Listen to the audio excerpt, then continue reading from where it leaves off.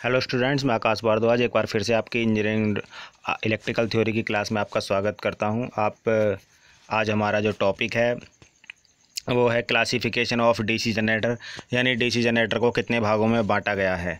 तो आज हमारा टॉपिक जो हम बताएँगे कि डीसी जनरेटर को कितने भागों में बांटा गया है तो इसमें आप ये देख रहे हैं कि DC generator the classification is given below यानी ये दिए गए हैं जो जनरेटर तो क्लासिफिकेशन करना है जनरेटर को तो डीसी जनरेटर जो है कितने प्रकार के होते हैं? तो डीसी जनरेटर दो प्रकार के होते हैं।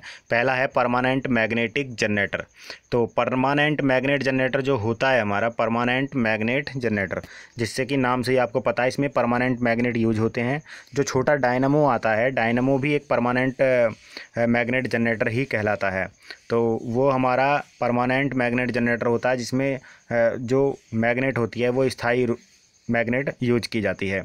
फिर दूसरे नंबर पर इलेक्ट्रोमैग्नेटिक जनरेटर आता है। ये देखिए नंबर टू है। Electromagnetic generator. तो इलेक्ट्रोमैग्नेटिक जनरेटर जो होता है हमारा, इलेक्ट्रोमैग्नेटिक जनरेटर, इसमें बिजली के द्वारा मैग्नेट बनाई जाती है और फिर अस्थायी रूप से बनती है और फिर वो हो जाती है। इस प्रकार तो दो प्रकार के डीसी जनरेटर हैं, परमानेंट मैग्नेट जनरेटर और इलेक्ट्रोमैग्नेटिक जनरेटर। फिर इलेक्ट्रोमैग्नेट जनरेटर को भी दो भागों में बांटा गया है। पहला है सेल्फ एक्साइटेड जनरेटर और दूसरा है सेपरेटली एक्साइटेड जनरेटर। तो जिसको सेपरेटली एक्साइट किया जाता है तो वह सेपरेटली एक्साइट जनरेटर कहलाता है। जिसको सेल्फ एक्साइट जनरेटर बोलते हैं, जो सेल्फ से ही चल, चालू हो जाए। तो जो सेल्फ एक्साइट जनरेटर है, वह बहुत ही इंपॉर्टेंट है। इसी का ज़्यादा एग्ज़ाम में आता है।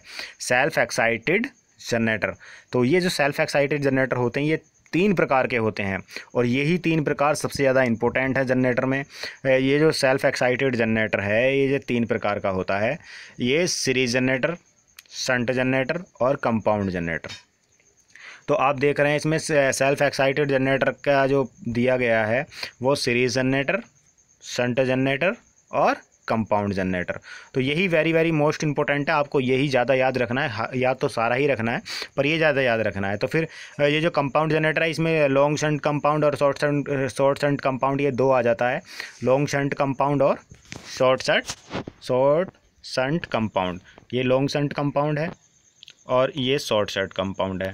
तो इस प्रकार इसमें, इस प्रकार इसमें दो चीज़ें आ रही हैं शॉर्ट शर्ट कंपाउंड और लॉन्ग शंट कंपाउंड तो आप इसमें देख रहे हैं आ, मैंने जैसे कि बताया तो इस प्रकार इसमें डीसी जनरेटर का जो पार्ट्स हैं वो डीसी डीसी जनरेटर का जो जनरेटर का जो क्लासिफिकेशन है वो दो भागों में था permanent magnetic generator electromagnetic generator फिर इलेक्ट्रोमैग्नेटिक जनरेटर को दो भागों में बांटा सेल्फ एक्साइटेड जनरेटर और सेपरेटली एक्साइटेड एक्साइटेड जनरेटर फिर जो सेल्फ एक्साइटेड जनरेटर है उसको तीन भागों में बांट दिया है series generator shunt generator compound generator और का जो कंपाउंड जनरेटर हमारा होता है वो लॉन्ग शंट कंपाउंड होता है और एक होता है शॉर्ट शंट कंपाउंड तो इस प्रकार ये क्लासिफिकेशन हमारा डेसी जनरेटरों का है।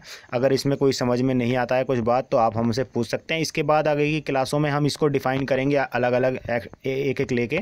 तो उसमें ज़्यादा आपको पर्टिकुलर वन जनरेटर को समझाएँगे तो उसमें ज़्यादा समझ में आएगा। अगर इसमें कुछ समझ में नहीं आया तो आप पूछ सकते हैं। धन्यवाद।